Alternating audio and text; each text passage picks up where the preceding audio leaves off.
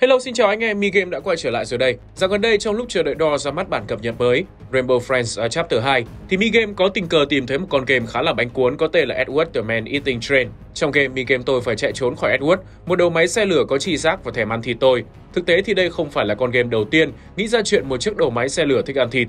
Công lao đó thuộc về Shushu Shausker, và Big Game tôi chỉ chơi Edward the Man Eating Train trong lúc chờ đợi phiên bản chính chủ ra mắt thôi anh em ạ. Và ngày đó cuối cùng đã đến, được phát triển bởi Two Star Games trong Shushu Charles. Anh em bị mắc kẹt trên một hòn đảo và bị săn đuổi bởi một con quái vật vừa giống nhện vừa giống một đầu máy xe lửa tên là Charles. Và không giống như người anh em trên Roblox, Shushu Charles có câu chuyện đàng hoàng kể về lòng tham vô độ của con người đã làm thức tỉnh con quái vật nhện xe lửa khi nó gieo rắc kinh hoàng trên hòn đảo này. Câu chuyện cụ thể như thế nào? Mời anh em đến với video phân tích câu chuyện Shushu Charles của Mi Game tôi nhé.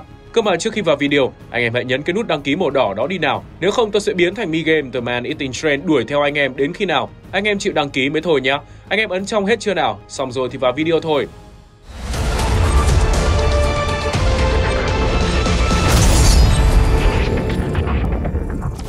Chơi game nào chưa biết thì Shoo Shoo Shouts là game phiêu lưu kinh dị thế giới mở góc nhìn thứ nhất. Trong đó có một con quái vật đầu nhện thân tàu hỏa tên là Shouts sẽ đuổi theo anh em.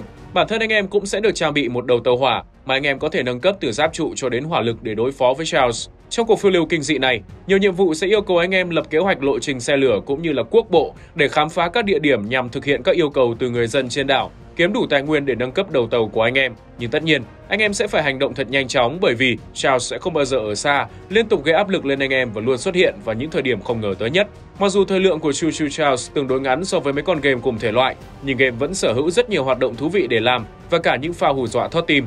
Nói chung cũng không thể đòi hỏi được nhiều hơn vì Chu Chu Charles chỉ là một tựa game độc lập do một người làm hết từ A đến Z, kiểu như thần trùng của sếp Dũng vậy. Cơ mà nếu đồ họa game làm đẹp hơn, sắc sảo hơn thì game có lẽ sẽ còn kinh dị hơn. Kiểu trong game có mỗi con quái vật nhện tàu lửa Charles là nhìn đẹp còn lại xấu đều hết anh em ạ. Chu Chu Charles cũng nên có thêm mấy khoảnh khắc hù dọa cố định tuyến tính, kiểu như Poppy Playtime Chapter 1, có màn rượt đuổi giận tóc gáy của Huggy ấy. Đoạn đó căng thẳng thực sự anh em ạ, tiếc là Chu Chu Charles không có cảnh nào như thế. Nhìn chung, những gì mà con game này làm được vẫn rất đáng ngưỡng mộ. Nếu có ra phần 2 thì Minh Game tôi tin những điểm yếu này sẽ được khỏa lấp. Tôi cho 8 trên 10. Đáng để ủng hộ giúp thanh niên làm game có động lực làm thêm phần 2 cho anh em chúng ta còn chơi tiếp. Câu chuyện của Chu Chu Charles bắt đầu với ông lão Eugene, một cư dân trên hòn đảo này. Ông đang thuyết phục nhân vật chính của chúng ta, một nhà sưu tầm sở hữu một viện bảo tàng ế ẩm. Để vực dậy tình hình kinh doanh của viện bảo tàng, chúng ta cần một mẫu vật đỉnh của chóp. Và theo lời ông lão Eugene, trên hòn đảo này có một sinh vật rất là to lớn, mà nếu anh em có thể mang về được viện bảo tàng để trưng bày, thì nó sẽ còn cháy hơn cả lửa chùa. Dĩ nhiên sinh vật mà Eugene muốn nói tới chính là con quái vật nhện xe lửa Charles, nên là anh em chuẩn bị tinh thần cho một chuyến đi săn quái vật đi nhá. Đợi đến đêm xuống, nhân vật chính của chúng ta anh Tèo được ông lão Eugene đưa đến hòn đảo. Sở dĩ tôi đặt tên là anh Tèo vì anh chắc chắn sắp tèo rồi chứ không có sống nổi đâu. Charles đã khủng bố cư dân trên đảo từ lâu và họ đã chuẩn bị sẵn sàng hết mọi thứ để tiêu diệt con quái vật này. Nên là anh Tèo chẳng cần phải lo gì cả, chỉ cần đến gặp một vài người, làm một vài thứ lặt vặt là xong.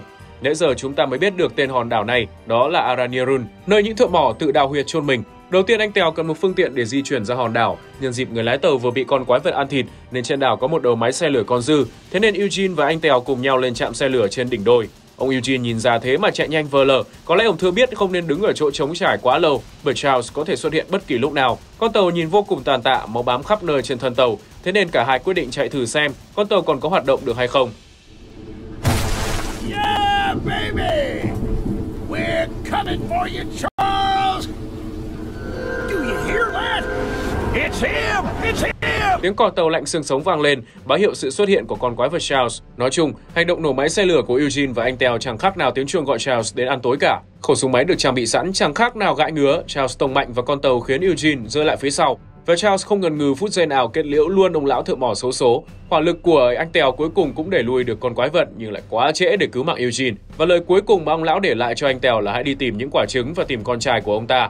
Bây giờ thì tựa game Choo Choo Charles mới chính thức được bắt đầu. Anh Tèo có thể tự do di chuyển khắp hòn đảo, nhận nhiệm vụ từ các cư dân ở đây theo thứ tự mà anh thích. Miễn là anh hoàn thành được mục tiêu cuối cùng, đó là tìm được những quả trứng, cơ mà trứng gì mới được cơ chứ. Đến được bãi phế liệu tàu lửa, anh Tèo gặp được một người tên là Daryl.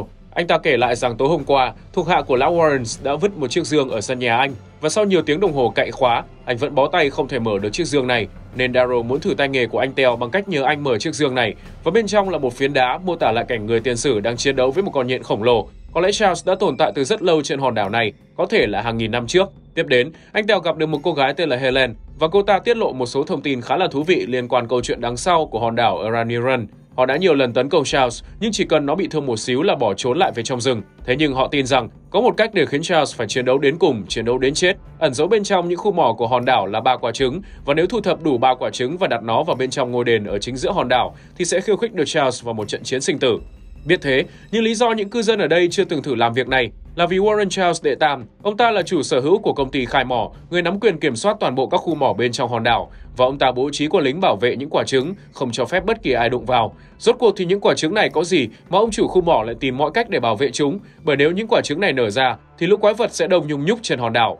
Trong một mẩu giấy ghi chú khác do một người tên là Claire để lại, thì dù cho con quái vật Charles đang khủng bố cuộc sống hàng ngày của người dân, nhưng lão Warren lại nhất quyết cấm mọi người rời khỏi hòn đảo. Rồi ngay cả nhân viên của lão Warren cũng không hiểu tại sao lão ta lại đầu tư khai mỏ hòn đảo này vì chi phí vận chuyển quá cao, hoàn toàn không đáng để liều lĩnh như vậy. Ông lão Eugene từng là giám đốc khu mỏ, nhóm của ông từng đào một đường hầm dài khu mỏ phía nam và nó dẫn đến một hang động khổng lồ ngầm ở dưới gòm đất. Và ở đó có thứ gì đó vô cùng kỳ lạ mà họ chưa bao giờ từng nhìn thấy. Theo như những gì mà mọi người ở đây biết thì Warren đến hòn đảo này để khai thác vàng, nhưng họ chưa bao giờ nghe đến việc hòn đảo này có vàng cả bởi những gì mà họ tìm thấy toàn là những di tích cổ xưa, đền thờ cung điện các kiểu chứ trên đảo làm gì có vàng. Phải chăng thứ duy nhất mà những người thợ mỏ tìm được là những quả trứng của con quái vật Charles? Không những thế bên cạnh Charles, hòn đảo này còn có đủ thứ kinh dị khác, đó là một hồn ma. Theo như lời cô gái Sasha kể, thì có lẽ ai đó đã vẽ những bức tranh kỳ dị và treo nó lên khắp các cây cột đèn trên hòn đảo. Và trong lúc đi gỡ những bức tranh đó xuống, đúng là trên đảo có ma thật anh em ạ. Nhưng nó không tấn công anh Tèo mà trái lại nó lại đẩy anh Tèo đi thật xa. Như thể nó không muốn anh Tèo lên núi vậy. Và theo như lời của Sasha, đó là linh hồn của những người thợ mỏ bị Charles ăn thịt. Linh hồn của họ không thể siêu thoát mà bị mắc kẹt ở hòn đảo này mãi mãi. Và trong lúc khám phá hòn đảo, anh Tèo cũng chạm trán với thuộc hạ của lão Warren. Chúng là những kẻ đeo mặt nạ hình gương mặt của Charles, như thể những gã này thuộc một giáo phái tôn thờ con quái vật vậy. Các cư dân ở đây dĩ nhiên cũng có nhiều giả thuyết xung quanh hành động mơ ám của công ty lão Warren. Một người tên là Greg tin rằng lão Warren đang tìm cách ấp trứng và nuôi dưỡng một bầy quái vật nhện. Họ không chỉ tìm được ba quả trứng mà tìm được một tổ trứng đầy cả hang. Những quả trứng này cũng không hề bình thường, chúng cứng như kim cương, đến mức dùng mọi cách cũng không phá hủy được. Thợ mỏ của lão Warren tìm cách hút năng lượng từ những quả trứng bằng cách đem chúng lên ngôi đền ở giữa đảo. Họ hút sạch năng lượng từ tổ trứng và khi chỉ còn 3 quả trứng, lão Warren cản những người thợ mỏ lại. Lão ta hẳn biết những sinh vật này nếu được sinh ra sẽ có sức mạnh kinh khủng như thế nào. Và thay vì bảo vệ mạng sống của mọi người, lão ta lại muốn bảo vệ những con quái vật này và âm mưu dùng chúng để thống trị thế giới. Có lẽ những con người cổ đại trên hòn đảo này từ lâu đã phải đối mặt với hiểm họa từ con quái vật nhện và sau nhiều năm chiến đấu, họ đã đẩy được Charles xuống dưới lòng đất và chôn vùi nó bên dưới hang động của hòn đảo. Thế nhưng trong lúc đào mỏ, công ty của lão Warren đã phát hiện ra Charles cũng như là tổ trứng của nó.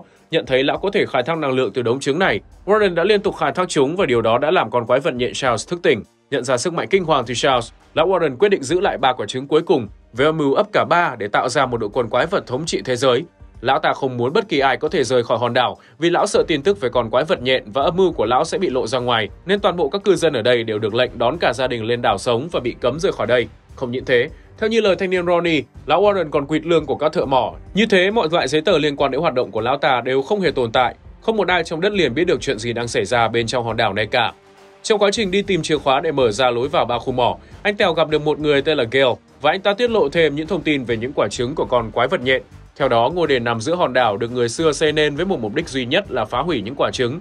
Chúng sẽ hút sạch năng lượng từ quả trứng và là nguồn năng lượng tỏa ra, sẽ thu hút Charles đến bảo vệ những quả trứng. Nó sẽ tấn công đến chết để bảo vệ chúng. Chưa hết, khả năng đặc biệt của Charles là hấp thụ năng lượng và tăng cường sức mạnh cho bản thân. Cụ thể hơn, trong một tờ giấy ghi chú do Gale để lại, chuyện này đã từng xảy ra một lần khi người dân tìm cách tiêu diệt con quái vật. Sau khi hấp thụ năng lượng, chân của Charles trở nên to hơn, gương mặt của nó biến dạng hơn. Những người còn sống sót theo lệnh của Warren đi giấu ba quả trứng, và đó là lúc mọi thứ trên hòn đảo trở nên tồi tệ hơn. Tất cả mọi người đều chịu cảnh bị mắc kẹt ở đây, không biết khi nào sẽ bị Charles ăn thịt. Và theo như lời Gale thì cái âm mưu mà thống trị thế giới của lão Warren mà mọi người vẽ ra là xàm xí hết, bởi lão ta hoàn toàn không có khả năng kiểm soát sinh vật này. Thực tế thì lão ta chỉ là một tên tư bản tham lam, muốn làm giàu bằng mọi cách, bất chấp an toàn cho nhân viên của lão. Lão muốn khai thác năng lượng từ những quả trứng để làm giàu. Và khi chứng kiến sức mạnh kinh khủng của con quái vật, Warren đã hốt hoảng tìm cách che giấu việc này, cũng như tách ba quả trứng ra để Charles không thể tiếp tục hấp thu sức mạnh được nữa. Và cuối cùng, chúng ta cũng gặp được con trai của ông lão Eugene. Đến đoạn này thì chiếc tàu của anh em chắc cũng đã khá là lực rồi, đủ sức để đối đầu với con quái vật Charles trong trận chiến quyết định. Theo đó, kế hoạch của mọi người là dụ Charles đến cây cầu bằng gỗ, nơi họ đã đặt bom sẵn. Chỉ cần nó đi qua, họ sẽ kích nổ và thổi bay con quái vật. Nhưng mà trước tiên thì phải xuống dưới hầm mỏ để đi nhặt đủ ba quả trứng cái đã. Tới đây chúng ta có thể tiến vào ending của Chu Chu Charles. Ở dưới ngôi đền là một kim tự tháp khoét sẵn lỗ, vừa khít với ba quả trứng. Chưa kịp gắn quả trứng thứ ba vào thì người của lão Warren xông vào, yêu cầu anh Tèo dừng ngay hành động này lại, rằng anh sẽ còn hại nhiều người hơn nếu tìm cách phá hủy ba quả trứng. Thế à? Tôi vẫn làm tiếp đấy rồi sao? Anh Tèo cho hay. Một vụ nổ khổng lồ thổi bay anh Tèo và tia năng lượng bắn lên bầu trời, người của lão Warren chạy tán loạn. Và đúng như kế hoạch của mọi người, tia năng lượng kia đã triệu hồi Charles đến chỗ ngôi đền. Nó hấp thụ năng lượng từ những quả trứng và cơ thể của nó bắt đầu biến đổi. Con quái vật đuổi theo đám người của Warren đang chạy trốn, nó tông sập ngôi nhà và nuốt chửng luôn lão Warren. Và giờ nhiệm vụ duy nhất của anh Tèo là bắn đến khi nào Charles chết thì thôi. Vì lần này, Charles quyết định lùng giết anh Tèo cho bằng được, nên nó dễ dàng xa vào cái bẫy trên cầu. Vụ nổ làm sập cây cầu thổi tung Charles lên trời, khiến nó rơi xuống vực sâu bên dưới và một tảng đá nhọn xiên thẳng từ miệng xuống tận đít của con quái vật. Charles cuối cùng đã chết.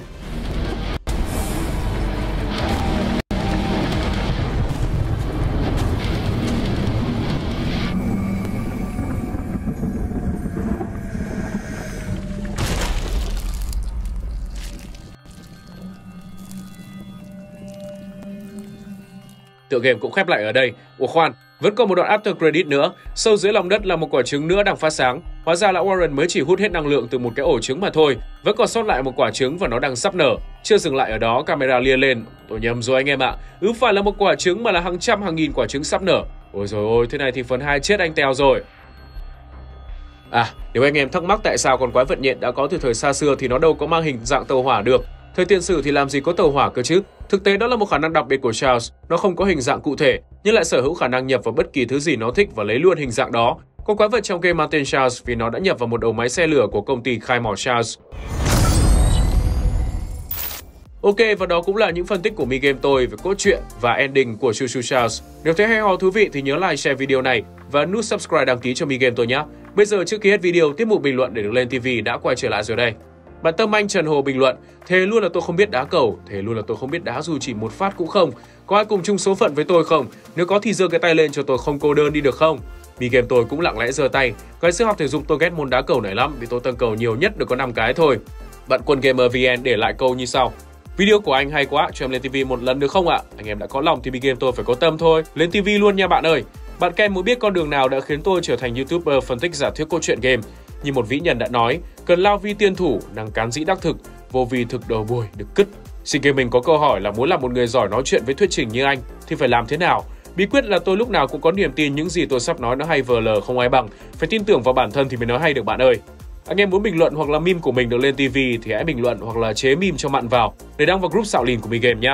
Hôm nay tới đây thôi, Mi Game sẽ lên video mới vào 18 giờ thứ hai từ sáu mỗi tuần, riêng thứ năm là dành cho video short. Bây giờ chào tạm biệt và hẹn gặp lại mấy anh em ở những video tiếp theo.